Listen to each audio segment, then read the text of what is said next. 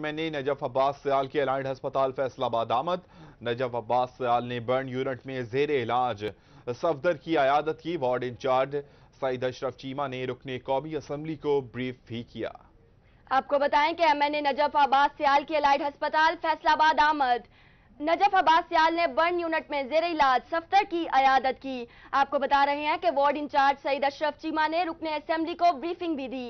MNA Najaf Abbas Sial का कहना था कि सफ्तर अली का ताल्लुक मेरे हलके से है। शहरी मुश्तक रसाई करता तो उसे इंसाफ ज़रूर दिलाता। आर पी आरपीओ सरगोदा वाक्य की तहकीकात कर रहे हैं। मुकदमा दर्ज करने के पैसे भी वसूल किए गए।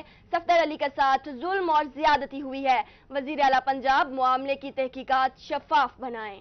रुकन कौमी असम्बली की वज़ीर अला से सफदर अली की माली मुआवनत की अपील भी की गई है। अपडेट कर रहे हैं आपको, M N A Najaf Abbas Sial की अलाइंट हस्पताल फैसलाबाद आमद। नजफ अब्बास सयाल ने बर्न यूनिट में जेर इलाज सफदर की आयादत की। वार्ड इंचार्ज सईद अशरफ ने रुकन कौमी असम्बली को इस हवाले से ब्रीफिंग भी दी है। आपको बता रहे हैं कि एमएनए नजफ अब्बास सियाल का कहना था कि सफ्तर अली का ताल्लुक मेरे हलके से है, शहरी मुश्तक रसाई करता तो उसे इंसाफ ज़रूर दिलाता। आरपीओ सरगोदा वाक्य की तहकीकात कर रहे हैं। मुकदमा दर्ज करने के पैसे भी वसूल किए गए। उनका मजीद कहना था कि जुल्म और ज्यादती हुई है। वज़ीर अला पंजाब मामले की तहकीकात शफाफ बनाए। रुकने कौमी असम्बली की वज़ीर अला से सफ्तर अली की माली मुआवनत की भी अपील। नजफ अब्बास सयाल का कहना था कि सफदर अली का ताल्लुक मेरे हलके से है। शहरी मुश्तक रसाई करता तो उसे इंसाफ ज़रूर दिलवाता। आर पी आरपीओ सरकोदा वाक़े की तहकीकात कर रहे हैं। मुकदमा दर्ज करने के पैसे वसूल किए गए हैं। सफदर अली के साथ जुल्म और ज्यादती हुई है। वज़ीर अला पंजाब मामले की तहकीकत को शफाफ बनाए। रुकने कौमी असम्बली की वज़ीर अला से सफदर अली की माली मामनत की अपील भी की गई है। आपको अपडेट कर रहे हैं फैसलाबाद से, जहाँ पर M N A Najaf Abbas Sial ने अलाइड अस्पताल फैसलाबाद का दौरा किया है। आपको बताएँ कि नजफ अब्बास सियाल ने बर्न यूनिट में जेर इलाज सफ्तर की अयादत की। वार्ड इंचार्ज सईद अशरफ चीमा ने रुकने असेंबली को ब्रीफिंग भी दी है। एमएनए अब्बास सयाल का कहना था कि सफदर अली का ताल्लुक मेरे ही हलके से है। शहरी अगर मुझ तक रसाई करता तो उसे फौरी और ज़रूर इंसाफ दिलाया जाता। आरपीओ सरगोदा वाक़े की तहकीकात कर रहे हैं। मुकदमा दर्ज करने के पैसे भी वसूल किए गए। सफदर अली के साथ जुल्म और ज्यादती हुई है। वज़ीर आला पंजाब मामले की तहकीकात को फौरी तौर पर शफाफ बनाए।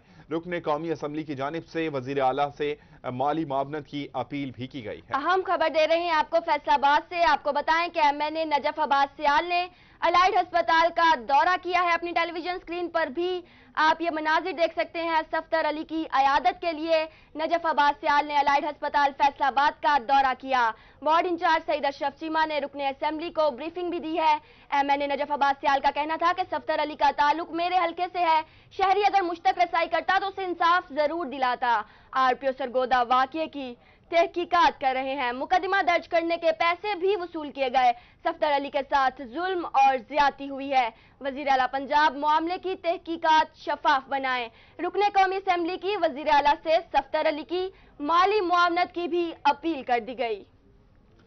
आरपीओ सरगोदा वाक्य की तहकीकात कर रहे हैं। मुकदमा दर्ज करने के पैसे वसूल किए गए। सफदर अली के साथ जुल्म और ज्यादती हुई है। उनका मजीद क्या कहना था, आइए आपको सुनवाते हैं।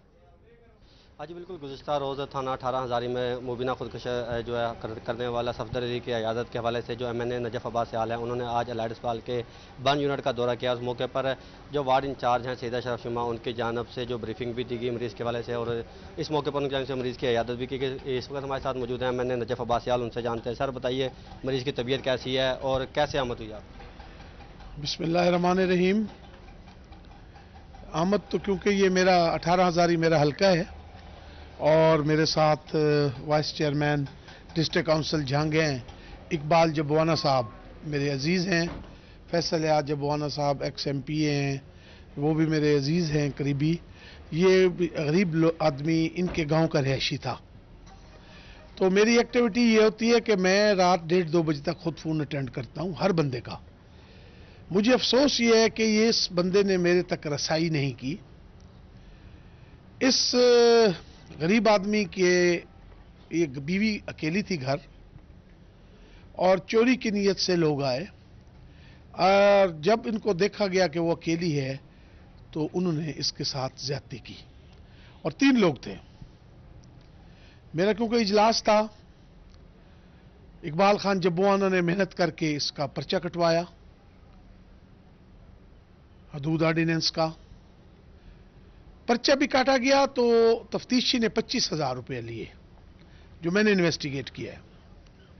गरीब आदमी ने अपनी भैंस बेच के या कोई गाय वगैरह बेच के भट्ठा मजदूर था, इसने वो भरा। उसके बाद डीएसपी जो सदर था, ताहिर खिची, वो इस पर प्रेशर डालता रहा कि डेढ़ लाख रुपया ले लो, सुलह कर दो। इसने कहा, मैं गैरतमंद आदमी हूँ, गरीब ज़रूर हूँ मैं पैसे लेके सुलह नहीं करूँगा। पच्चीस हज़ार रुपया और लिया गया, उसके बाद इसके मुलजिम पकड़े गए। डीएसपी ने प्रेशर डाला। जब इसने प्रेशर न माना तो वो मुलजमान छोड़ दिए गए। मुलजमान छोड़ने के बाद उसने एहतजाज किया। वाइस चेयरमैन साहब के पास ये बंदा परसों गया है। इन्होंने कहा कि एमएलए साहब इजलास पे गए हुए हैं, जो ही आते हैं, तेरा मसला फौरी हम हल करेंगे। ये उसके बाद थाने आ गया अकेला। इसने कहा, एहतजाज किया एस एच ओ को मेरे साथ जुल्म हो रहा है, मेरे साथ ज्यादती हो रही है। मेरे मुजरिम छोड़ दिए गए इसको आगे से फिर तफ्तीशी ने गालियाँ निकाली। ये बाहर गया है पेट्रोल लेके आया है एस एच ओ थाने के ग्राउंड में बैठा था। इसने सामने अपने आप पे वो पेट्रोल छिड़क कर आग लगा दी।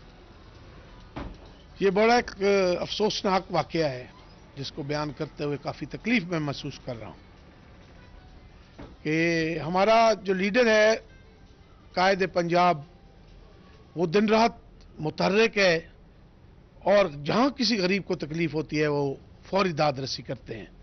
मैं उनको शुक्र, शुक्रिया अदा करता हूँ कि उन्होंने फौरी तौर पर तफ्तीशी को, एसएचओ को और डीएसपी को मुतल कर दिया। और आरपीओ सरगोधा को मुकर किया है इंक्वायरी अफसर जो 24 घंटे में, या 48 घंटे में वो इंक्वायरी मुकम्मल करके सीएम साहब को पेश करेंगे। मेरी सीएम साहब को एक रिक्वेस्ट है कि गरीब आदमी है, इसकी माली इमदाद भी की जाए। इस वक्त जो डॉक्टर साहबान डॉक्टर साहबान ने बताया है, वो ये बताया है कि इसके बचने के सर्वाइवल के चांसेस कम है। पंजाब पुलिस पाकिस्तान में पुलिस जगह जगह पे है। पाकिस्तान पंजाब